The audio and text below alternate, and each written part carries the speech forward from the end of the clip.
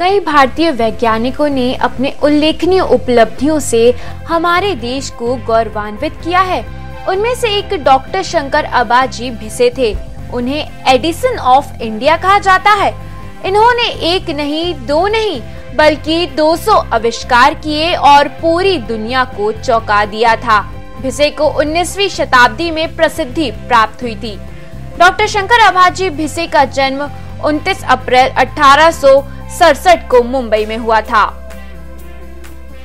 उन्होंने वज़न और पैकिंग के लिए ऑटोमेटिक मशीन का निर्माण किया।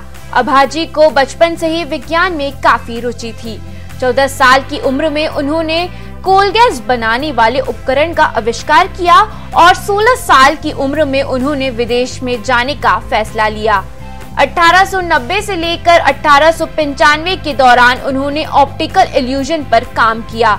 उन्होंने एक ठोस पदार्थ को दूसरे ठोस पदार्थ में परिवर्तित करने की प्रक्रिया का प्रदर्शन किया। इंग्लैंड के मैनचेस्टर में उन्होंने इस तरह के शो का आयोजन किया। यूरोप के लोगों के आविष्कार के सामने उनके आविष्कार को श्रेष्ठ माना गया।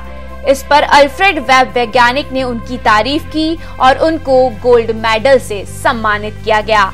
भिसे ने कई रसोई के उपकरण, एक टेलीफोन सिरदर्द को ठीक करने के लिए एक उपकरण और स्वचालित रूप से फ्लशिंग टॉयलेट का आविष्कार करने में भी महत्वपूर्ण भूमिका निभाई थी।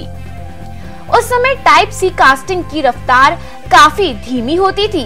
भिसे द्वारा बनाई गई मशीन के कारण छपाई काफ़ी तेज होने लगी थी। लंदन के कुछ वैज्ञानिकों और कुछ इंजीनियरों को उनके द्वारा बनाई गई इस मशीन पर भरोसा नहीं हुआ और उनको चुनौती दे दी। अभाजी ने चुनौती को स्वीकार किया और 1908 में एक ऐसी मशीन का निर्माण किया जिससे अलग अलग अक्षरों में छपाई हो सकती थी। यानी हर मिनट 1200 अलग अलग अक्षरों की छपाई और असेंबलिंग हो सकती थी। तभी से डॉक्टर शंकर अबाजी भिसे को एडिसन ऑफ़ इंडिया या भारत का एडिसन कहा जाने लगा। डॉक्टर शंकर अभाजी भिसे ने उस समय कई ऐसे आविष्कार किए जिससे पूरे विश्व में उनको ख्याति प्राप्त हुई और साथ ही सबने उनके आविष्कारों को स्वीकारा। 200 आविष्कारों में से लगभग 40 आविष्कार उनके नाम पर पेटेंट भी हुए। डॉक्टर शंकर अभाजी भिसे का निधन 7 अप्रैल 1935 को हुआ था।